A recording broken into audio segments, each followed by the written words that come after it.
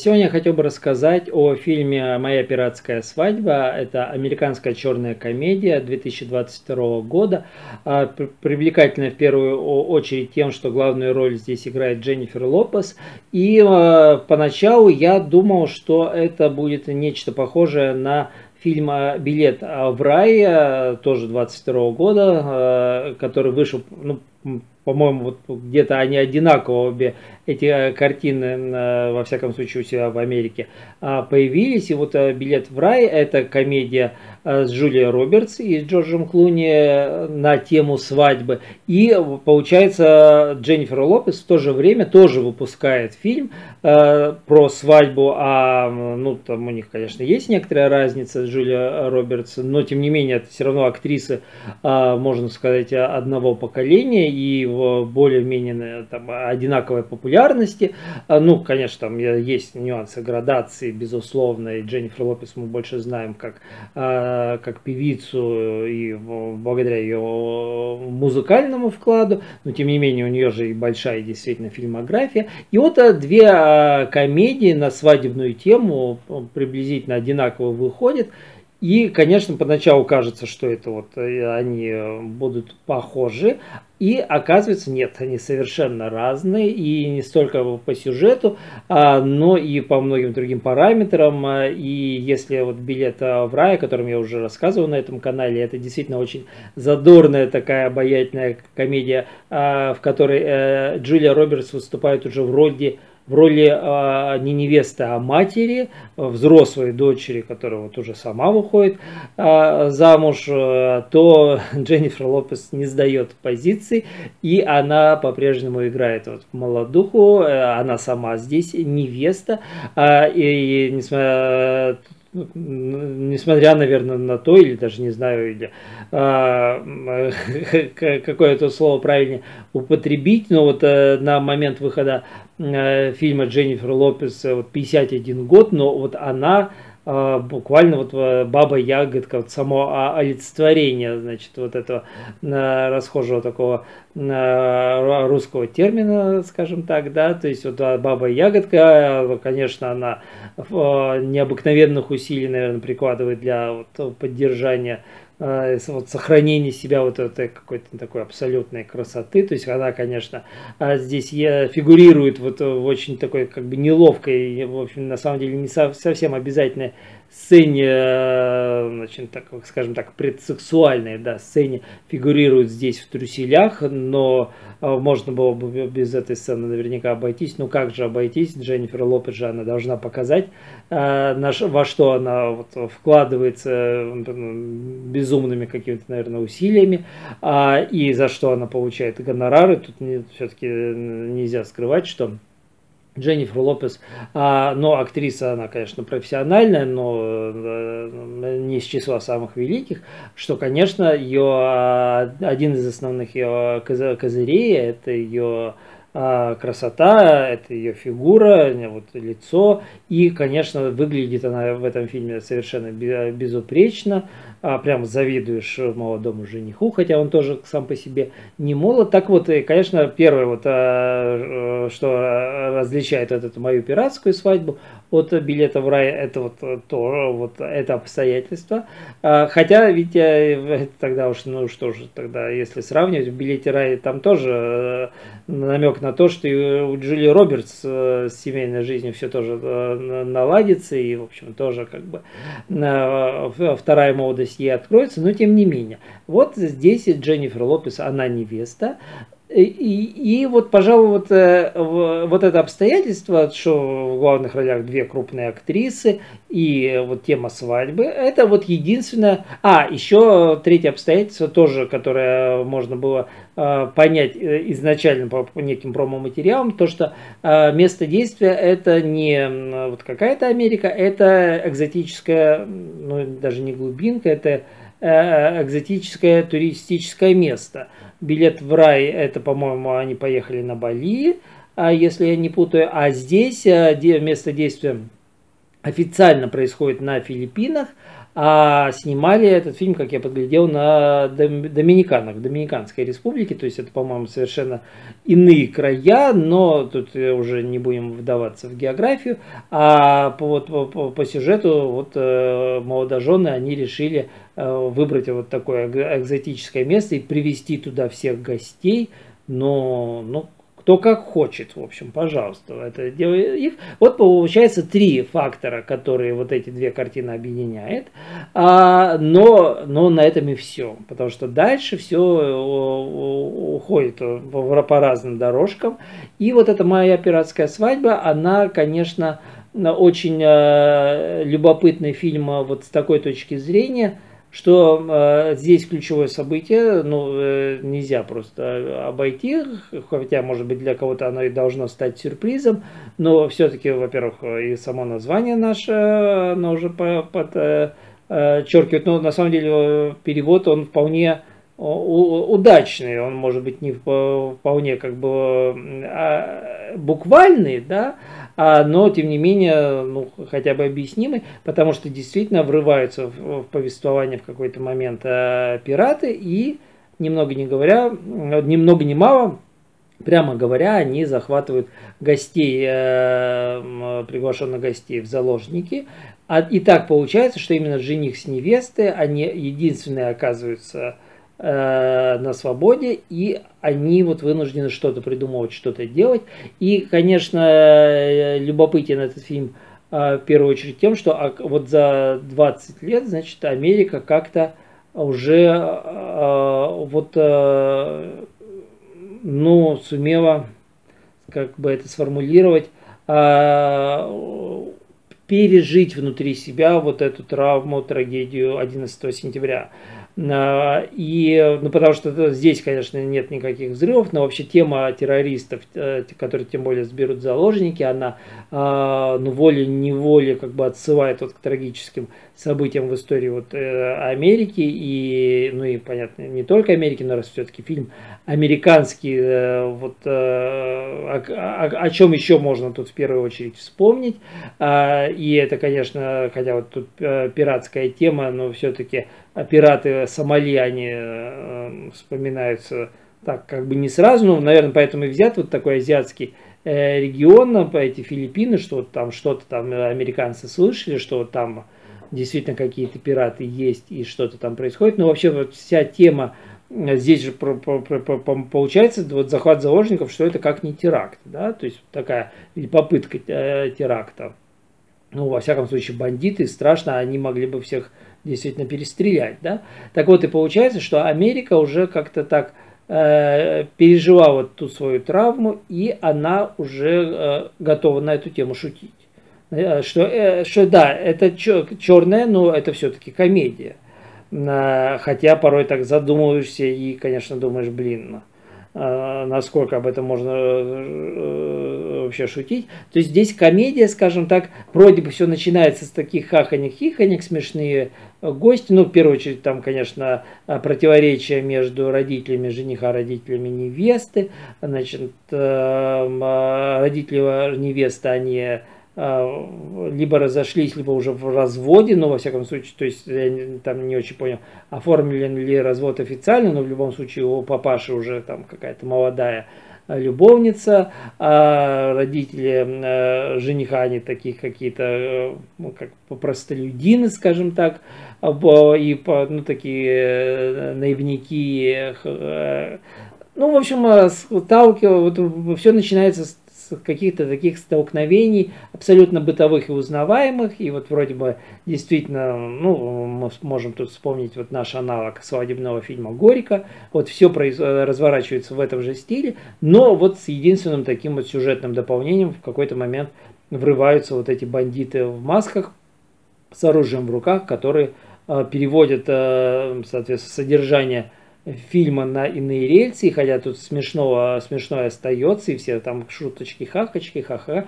как вести, допустим, себя с террористами, здесь тоже все это обыграно, кто чего слышал, тот как бы тем и оперирует, а вот, что, допустим, там начинаются выступления со своими какими-то краткими биографиями, что надо очеловечить себя, что якобы террорист, э, террористу будет сложнее убивать заложника, если он будет в нем уже видеть человека, и вот там начинают вот представление, я такая-то, такая-то, там вот то-то, то-то. Ну, в общем, э, ну, как бы так уже немножко закрывая глаза, но ты это все смотришь. И, конечно, в это вплетаются постепенно а, элементы боевика, а, потому что вот этот жених и невеста, оказавшиеся на свободе, они, а, ну, потихонечку приходят к тому, что им надо сражаться, им надо что-то делать, им надо, в общем, спасать свои жизни. И поначалу кажется, я, честно говоря, не мог поверить, что это будет какая-то реальная кровь, что это будет все-таки в рамках вот этого жанра, мне казалось, что все-таки это будет как бы немножечко понарошку. Нет, нет, они, там начинается реальная как бы бойня, ну, такая условная, конечно, но жертвы, в общем, среди террористов, направивших оружие на мирных жителей, они есть, и вроде по заслугам. А, и вот вроде там и действительно там и гранаты взрываются, и пули свистят, и все остальное, остальное. Э, это все присутствует. Хотя, честно говоря, вот у меня изначальное подозрение, что это все-таки такой маскарад, оно а, присутствовало и я оказался в этом а, прав. А, то есть э, все-таки тут э, а, э, лежит в основе сюжета такой несколько шаблонный такой трюк. Ну, не буду раскрывать детали, но во всяком случае насмотренный зритель, он сможет догадаться о неком откровении, которое нам раскрывается где-то там к середине фильма, догадаться заранее. Вот, тут большого секрета нет. Но вообще в целом, конечно, вот то, что теперь э, э, над подобного рода сюжетами американские кинематографисты готовы посмеиваться, то есть это не просто вот, ну, действительно а, стандартный боевик, да, что есть террористы и, соответственно, там кто-то с ними расправляется, как они того заслуживают. А это уже вот именно с хихонькими хаконьками, с прибауточками такими. А, тут элемент еще и мелодрамы тоже, да, то есть вот э, потому что жених и невеста, все-таки они не молоды, им уже, ну, артистам фильма, как я уже сказал, по 50, а, и э, пусть они выглядят прекрасно и молодо, но тем не менее, да, и вот у них, конечно, перед э, самой свадьбой возникают сомнения, а потом эти сомнения в ходе дела, конечно, они полностью отвергаются, нет, любовь до гроба, а, и вот, э, вот эта смесь жанровая, она в, и с присутствием в сюжете, вот, значит, э, э, такой как бы группировки бандитов, э, вот я говорю, то есть уже весьма любопытно, что американцы вполне готовы на эту тему снимать фильмы и как-то вот на тему заложников шутить. А, вот, наверное, это то обстоятельство, которое привлекает, ну не то, что привлекает, но которое цепляет вот внимание, ну то есть которое нельзя как бы обделить вниманием, да, то есть вот сам факт появления этого фильма. Но в целом я могу сказать, что он э, весьма симпатично смотрится и сам по себе, не, не столь симпатично, как билет в рай который лишен вот этого такого э, э темного, скажем так, элемента в своем сюжете. «Билет в рай» вообще замечательный. А тут, конечно, немножечко тебя в каких-то моментах коробит, но все-таки они реально убивают людей. То есть, и когда одно дело, это если чистый боевик, это одно, а если это такая, ты не ждешь этого, да, от фильма про свадьбу это уже иначе воспринимается. Но, тем не менее, это, конечно, вот такая Дженнифер Лопес на тропе войны, да, суровая женщина, красивая э, женщина, которая может быть в, отважен, в нужный момент показать всю свою отвагу, а, всю свою боеспособность. Она разрывает это э, сковывающее ее э, белое платье свадебное, а, в котором не могла дышать, и в какой-то момент она вот его разрывает, и вот с а, пушкой, что называется, на перевес идет мочить врагов, а, которые обидели э, ее семью, ее родителей. Это, и при этом она не упускает случай вообще под дом ружья навести мир, э, э, мир вот между семьями, вырвать вот, обещание, значит, дружить, что называется. Э, и никого не обижать. Но, опять же, вот элементы комедийный. Э, вот, э, несмотря на то, что, конечно, какие-то моменты так тебя так удивляют, но в целом, в целом это все смотрится и довольно-таки лихое действие, и как-то все это. А, и какие-то есть интересные моменты, и порой ты, конечно, ну, поражаешься, э, ну, не то чтобы изобретательности, но э, вот все эти элементы, как, допустим, расправиться с террористами, они здесь даны, ну, очень э, так, игриво и, ну, действительно смеешься. Так, героиня, помня о том, что она обшикала одного из террористов, террористов, ну, вот, ну, заходит, я не знаю, как еще, э, какое слово упоминать, а одного из бандитов, да, которые вот захватили заложники теперь э, ее гостей и пришли по ее душу, она опрыскивая его лаком, и помня об этом, она, значит, выпрашивает сигаретку, ну, якобы ей надо покурить, а э, бандиты про это не думают, сигаретку ей дают, она закуривает, и тут же поджигает этого, эту маску этого террориста, он весь в огне, а, паника, ну, конечно, да, это, это как в, черном, в, рамках черной комедии, это смешно, так же смешно, как она обходится с гранатой, потом, которая попала в ее руки, она не может ее выбросить, потому что чека уже сдернута, ну, как она ее выбрасывает, в какой момент, это тоже все интересно. И финал, который, конечно, прям поразительный, как э, э, что там происходит с вертолетом, как, как, который догоняет парочку, удирающую на вот этом катерке. Это, конечно, да, в общем, э, я так понимаю, сценаристы очень, э, создатели фильма так э, прям похлопали себя в ладоши, когда они придумали, как именно им разобраться со злодеями, которые вот в погоне за всем этим. И, ну, думаешь, ого-го. То есть какие-то вот э, интересные моменты есть и в рамках вот, просто коме комедийной, как в рамках черной комедии. За всем этим любопытно наблюдать, но, конечно, главной звездой экрана в любом случае остается Дженнифер Лопес, а, ну, потому что действительно вот э, там и в сцена в трюселях, несмотря на то, что на все ее как бы неудобство и ненужность в этом фильме она конечно, запоминается, но благодаря тому, что ну, это Дженнифер Лопес. Ну и потом она очень так э, миленько смотрится. И э, вполне, вполне в духе вот э, держит тоже вот этот настроение и вот как бы энергию экрана э, ее партнер Джордж Дюамель, э, который ну, тоже совершенно прекрасно сохранился. Мне этот артист в первую очередь известен благодаря трансформерам, ну как и многим другим, наверное. Ну хотя у него есть и иные фильмы, ну такой мужчина-красавчик, ничего не могу сказать. Появляется здесь вот на новом витке своей популярности Дженнифер Кулич, которую вывел вновь из какой-то такой актерской спячки сериал «Белый лотос», о котором я здесь тоже уже рассказывал и который, конечно, ей подарил вот новую виток популярности. Вот она вот в образе такой а, мамы жениха, такой хохотушки-простушки здесь э, выступает.